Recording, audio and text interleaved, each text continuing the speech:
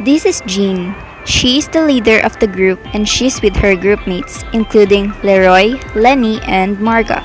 They are having a group meeting about the flow of their group project. In this scenario, Jean is the sender of the message.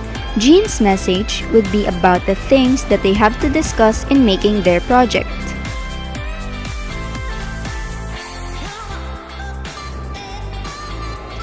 Leroy, Lenny, and Marga are Jean's receivers.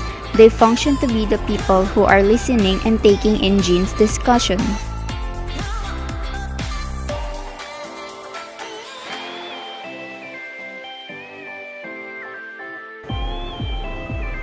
It is evident the channel of communication that they are using is through their mouth which is known to be oral.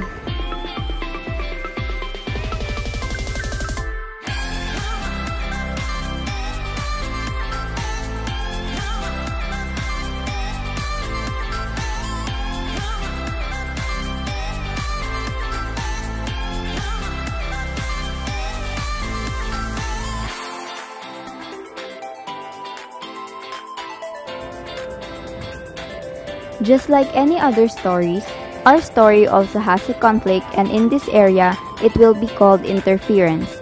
The interference of our scenario would be the noise that were made by Leroy, Lenny, and Marga.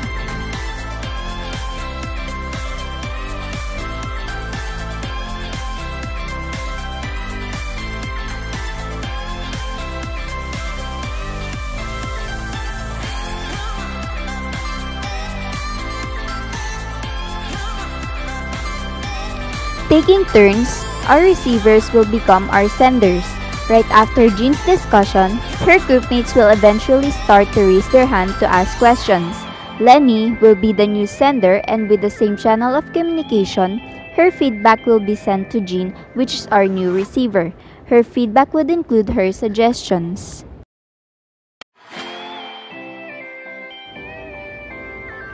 To recap, Transactional model is the process of continuous change and transformation where every component is changing such as the people, the environments, and the medium used.